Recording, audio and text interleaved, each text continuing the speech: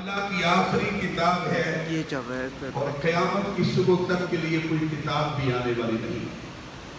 हजूर नबी अकरम सल्लल्लाहु अलैहि वसल्लम अल्लाह के आखिरी नबी हैं खातमुन नबीयीन हैं।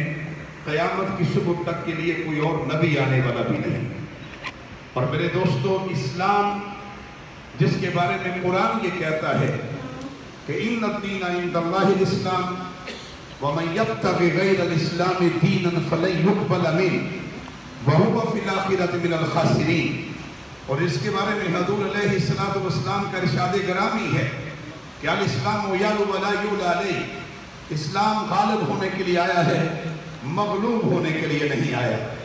मेरे अजीजों, पाकिस्तान हमारा मुल्क है, हमारी सरजमीन है, और हम सब जानते हैं कि 14 अगस्त उन्नीस सौ सैतालीस को जब रमज़ान मुबारक का महीना था, सताईसवीं शब थी जुमातुल मुबारक का दिन था, और छब्बीसवें रोज़े रात 12 बजे रेडियो लाहौर ने ऐलान किया था कि बड़े शरीर के मुसलमानों तुम्हें मुबारक हो।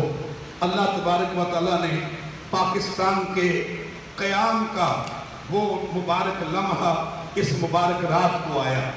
मेरे दोस्तों, ये भी हम जानते हैं कि पचहत्तर साल गुजर गए हैं, आप साहिब इलम हैं, आप सारी सूरत हाल से वाकफ हैं।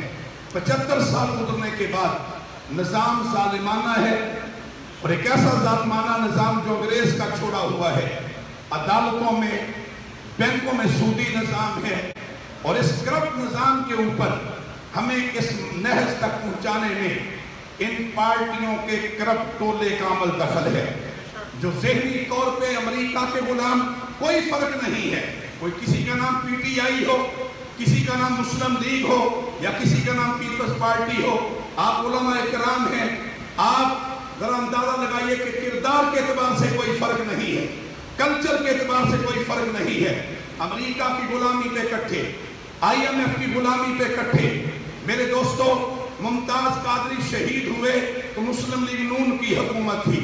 आसिया मलूना को यहाँ से फिर फरार करवाया गया तो पीटीआई की हुकूमत थी। और आप सब जानते हैं आपके इलम में है कि इस मुल्क की नजरियाती असास को खोखला करने में इन दोनों तीनों पार्टियों ने अपना पूरा किरदार अदा किया है। एफ़ ए टी एफ़ की कानून साजी हो, आपसे बेहतर कौन जानता है कि एफ़ ए टी एफ़ की कानून शादी में इन हुक्मरानों ने अगियार को खुश करने के लिए पाकिस्तान को जकड़बंदियों में कहीं वकफ अमलाक पे पाबंदियाँ, कहीं मस्जिद पे पाबंदी, कहीं मदरसे पे पाबंदी, आप हालिया इन हुक्मरानों का जायजा लें। जो बजट आया, इस बजट में मस्जिद के लिए कुछ नहीं, मदरसे के लिए कुछ नहीं, दीन की इकदार के लिए कुछ नहीं, लेकिन आप इनका बजट उठा के देख लें। अरब हार रुपया फहाशी यानी को आम करने के लिए, फ़िल्मों के लिए, फ़िल्म इंडस्ट्री के लिए इन अदाकारों के लिए इसको सनत का दर्जा दे दिया गया। अरबों रुपए बजट के अंदर रख दिया गया है। मैं आपसे अर्ज़ करना चाहता हूँ अब सूदी निज़ाम की दास्तान, जनाब सिराजुल हक साहब गुजश्ता कई सालों से ये जंग अदालत में लड़ते रहे और बिल आखिर इसी 26 रमज़ान को अदालत ने फैसला दिया कि ये सूद हराम है। पाकिस्तान से इसको खत्म करो। आपसे बेहतर कौन जानता है कि ये कितनी बड़ी लानत है, कितना बड़ा अल्लाह का अजाब है? मेरे दोस्तों, अदालत ने फैसला दिया, लेकिन इन हुक्मरानों के अमाल नामे के अंदर अजर समेटना नहीं है। ये अल्लाह अल्लाह के रसूल की दुश्मनी में फिर उतर आए और ये फिर कोर्ट चले गए। ये कहने के लिए कि सूद के बगैर पाकिस्तान नहीं चल सकता। मैं आपसे अर्ज़ करना चाहता हूँ, मेरी बात मुकम्मल हो गई है। जमात इस्लामी ने इस हल्के में मेरे दोस्तों वकास अहमद भट्ट को कैंडिडेट बनाया। मैं जाती तौर पे जानता हूँ कि वो एक मर्द मोमिन है, वो एक मुजाहिद है, वो एक दीन के ऊपर अमल करने वाला, दीन का नंबरदार है। वो निज़ाम मुस्तफ़ा के लिए लड़ेगा, वो असम्बली में होगा तो तहफ़ खत्म नबूत के लिए लड़ेगा। वो इस्लाम के इस्लाम के निज़ाम की बात करेगा, लेकिन वो वही नहीं, वो इलाके के अंदर जुल्म और जबर के मुकाबले में हक के लिए खड़ा होगा। मैं आपसे कहना चाहता हूँ, वोट एक अमानत है, वोट एक शहादत है, वोट एक गवाही है। और मेरी अब सबसे अपील है अब अपने अपने दायरे में मौसर है। मस्जिद मस्जिद मिंबर मेराज के ऊपर आपका नमाजियों के साथ ताल्लुक है। अगर आप मिंबर के ऊपर बैठ करके हिकमत से बात कर सकते हैं तो मिंबर से बात कीजिए। अगर वहाँ मुमकिन नहीं तो लोगों से नफराती तौर पर भी आप बात कर सकते हैं। लेकिन इंशाला हमारा ईमान यह है कि पाकिस्तान का मुकद्दर, ये जुल्म का निज़ाम नहीं है। ये कलमे के नाम पे मुल्क बना है और यहाँ इंशाला इस्लाम का मुबारक निज़ाम आएगा। इंशाला आएगा। और उस इस्लाम के निज़ाम के लिए, मेरे दोस्तों, हम में से हर फर्द को अपने हिस्से की क्षमा जलानी है।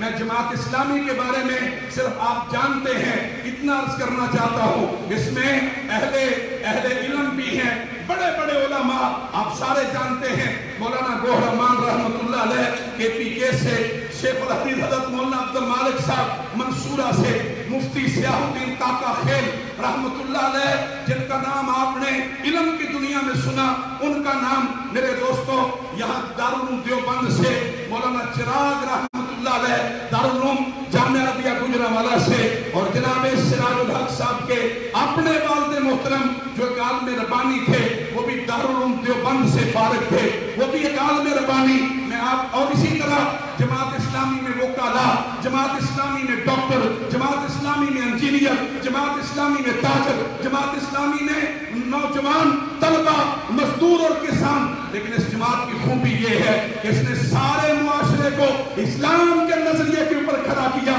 इस्लाम के नज़रिए के ऊपर इंशाला अगर सिराजुल हक साहब की क्यादत में क्यादत में इकतदार जमात इस्लामी को मिला।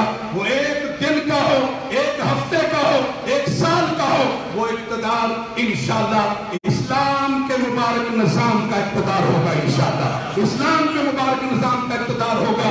लेकिन मेरे भाइयों, बस मैं आपसे कहना चाहता हूँ कि आप अपने कलम खैर के ज़रिए से अगर तायद करेंगे, हमायत करेंगे तो मेरे दोस्तों, आप हक का साथ देंगे, आप खैर की तायद करेंगे, आप सच की तायद करेंगे और आप अगर सच की तायद करेंगे तो इन मुझे उम्मीद और मेरा यकीन है कि पाकिस्तान की सरजमीन पे इन पार्टियों ने क्या कल्चर दिया है। कोई कहता है कि ये भुट्टो का ज़्यादा है, कोई कहता है ये नवाज़ शरीफ का मतवाला है।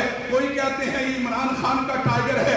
जमात इस्लामी का पैगाम ये है, हम किसी के गुलाम और किसी के बंदे नहीं हैं। हम एक अल्लाह के बंदे हैं और मोहम्मद रसूलुल्लाह के गुलाम हैं। हमने बाकी सारी गुलामी की जंजीरों को काटना है और इंशाल्लाह पाकिस्तान की सरजमीन पे इस्लाम के मुबारक निज़ाम को लाना है। मेरे साथ मिलकर अल्लाह की किबरियाई को बुलंद कीजिए। आप उलमा हैं और अल्लाह की किबरियाई से बढ़ करके हमारा ऐलान ये है, हम अल्लाह के अलावा किसी को बड़ा मानने के लिए तैयार नहीं है। ना अमरीका, ना दुनिया की कोई और ताकत। एक अल्लाह दुनिया की सुपर पावर है, एक अल्लाह दुनिया की सुपर पावर है। मेरे दोस्तों, हिंदुस्तान में आपने देखा एक इस्लाम की बेटी जिसे यूनिवर्सिटी में घेरा गया, चारों तरफ़ से हिंदू गुंडों ने घेरा उससे कहा, नकाब उतारो।